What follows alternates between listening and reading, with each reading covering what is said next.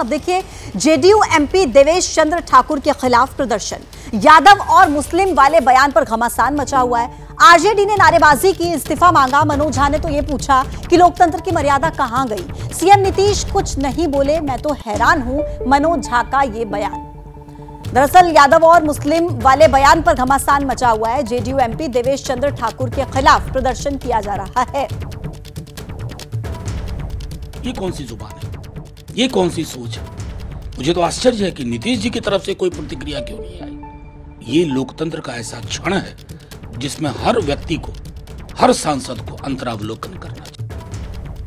प्रकाश इस तरीके से जाति सूचक शब्दों का इस्तेमाल किया जाता है, खुले मंच पर, जिसको लेकर प्रदर्शन भी हो रहा है और किस तरीके का माहौल ये बिहार में बनता हुआ नज़र आ रहा है। प्रकाश।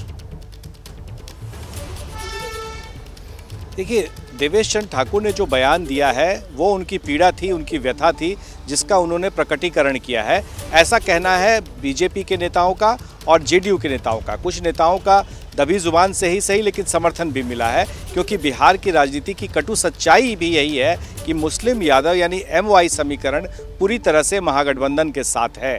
तो ऐसे में इसका फ़ायदा या नुकसान दोनों को ही देखा जाता है दोनों को तोला जाता है तराजू पर और जिसमें जहाँ फ़ायदा ज़्यादा दिखता है उस प्रकरण को ज़्यादा उभार दिया जाता है।